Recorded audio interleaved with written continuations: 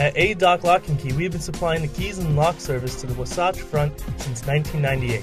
We specialize in automotive keys with transponders and we use state of the art security and technology.